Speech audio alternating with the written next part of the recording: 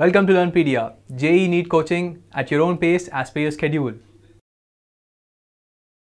Now let's see if you can answer this actual NEET question. If you think you got the answer, then post it in the comment section below. To know the best way to answer this question, continue watching this video.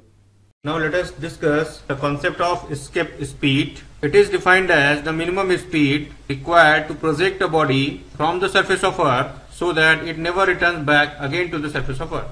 Or we can say that it is the minimum velocity necessary to impart to a body such that it can completely escape the gravitational pull of bodies or suppose if this is the earth of mass m and we are going to project this body of mass small m then this body should be given at least this much speed such that it can go out of the gravitational pull of the body or gravitational pull of the mass m or gravitational pull of the earth let m be the mass of the earth from which a body of mass small m is escaping and also let the escape velocity or escape speed to be v suffix e. Then using energy conservation we can write the kinetic energy given to the body of mass m should be exactly equal to the gravitational potential of the body at the earth surface.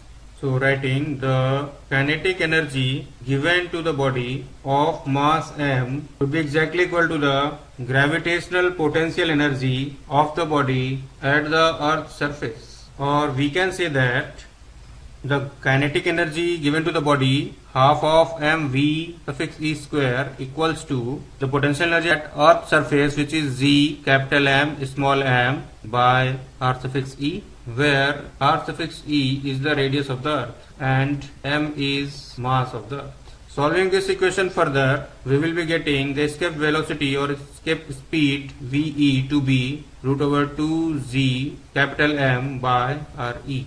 Since we know that small g equals to capital G M by Re square, so in the above expression, capital G times capital M can be replaced by small g times Re square. So replacing we will be getting VE to be root over 2ZRE square upon RE or VE to be root over 2ZRE which is the escape velocity of earth for any body of any mass because this expression is independent of mass of the individual body so it will not depend on mass of the individual body. So whether the body is of mass 1 kg, 10 kg or 50 kg, if it has provided a velocity Ve equals to root 2 g Re, it will escape the gravitational pull of the earth. Let us calculate this velocity Ve. Ve equals to root over 2 g, suppose it to be 10, Re radius of earth, suppose it to be 6400 into 10 raised to 3. So after calculating this, we will be getting this to be 11.2 kilometer per second.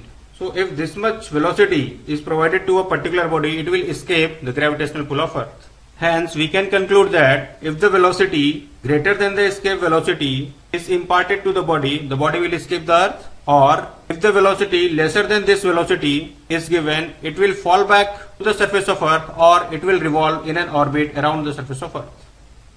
I hope you can now answer the question. Take a look at the solution now.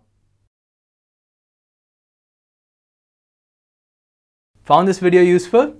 Hit the like and share buttons to enjoy more such videos. Learnpedia's JEE and NEET prep tools contain over 4000 videos and over 20,000 questions. You can access them online, on our website and offline through SD card or pen drive solutions. Buy now at www.learnpedia.in. You can also try a free demo of a product before making a purchase.